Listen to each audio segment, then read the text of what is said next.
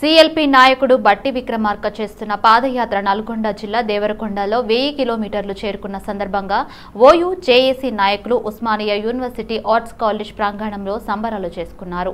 టపాకాయలు పేల్చి cake cut చేశారు. ఓయూ నుంచి దేవరకొండకు బట్టి విక్రమార్కకు సంఘీభావంగా బస్సు యాత్రగా వెళ్ళారు. కేసీఆర్ కుటుంబ పాలన నుంచి తెలంగాణను విముక్తి చేయడమే ధ్యేయంగా బట్టి విక్రమార్క పాదయాత్రకు సంపూర్ణ మద్దతు ఉంటుందన్నారు విద్యార్థి నాయకులు. నీళ్ళు నిధులు నియామకాలు డిమాండ్తో తెలంగాణ తెచ్చుకుంటే కేసీఆర్ కుటుంబ పాలనతో తెలంగాణ ఆకాంక్ష నెరవేరలేదని వారు అన్నారు. పోరాటం చూసి సోనియా గాంధీ తెలంగాణ ఇచ్చిందని అయితే ఇక్కడ మాత్రం తెలంగాణ అమరవీరుల ఆత్మ ఘోషించే విధంగా పాలన సాగుతుంది చేస్తానన్నారు. నిరుద్యోగుల భవిష్యత్తును అంధాకారం చేసే విధంగా టీఎస్పీఎస్సీ పేపర్ లీకేజీలతో ప్రభుత్వం సుపరిపాలన సాగుతుందని విమర్శించారు. రాబోయే ఎన్నికల్లో కేసీఆర్ కబద్ధ హస్తాల నుంచి తెలంగాణను విముక్తి చేయడమే లక్ష్యమన్నారు. వచ్చిన తెలంగాణ ఒక కుటుంబం చేతిలో కేసీఆర్ కుటుంబం చేతిలో బందీ అయిపోయింది.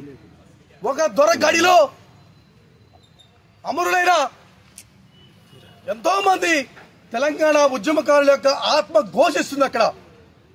దానికోసమనే దళిత నాయకుడు దళిత బాంధవుడు పేద ప్రజల వర్గాల యొక్క అభ్యున్నతి కోసం నిర్విరామంగా ఈ తెలంగాణ వ్యాప్తంగా దాదాపుగా వెయ్యి కిలోమీటర్ దాటిపోయి ఈరోజు ఈ రోజుతోటి వెయ్యి కిలోమీటర్ పూర్తి చేసుకున్న మల్లుబట్టి విక్రమార్క గారు. మన సిఎల్పి నాయకులు మల్లుబట్టి విక్రమార్క గారు దళిత గిరిజన ఆదివాసీ పేద బడుగు బలహీన వర్గాల యొక్క అభ్యున్నతి కోసం ఈరోజు పాదయాత్ర చేస్తున్నారు. వారు పాదయాత్ర సంఘీభావంగా ఈరోజు ఉస్మానియా యూనివర్సిటీ విద్యార్థులు మొత్తం కూడా ఉస్మానియా యూనివర్సిటీ జేఏసీగా మేమంతా కూడా ఈరోజు ఇక్కడ ఉస్మానియా యూనివర్సిటీ ఆర్ట్స్ కాలేజ్ ముందు కేక్ కట్ చేసి సంబరాలు చేసుకుని వారికి సంఘీభావంగా ఈరోజు నల్గొండ జిల్లా వెళ్తున్నాం.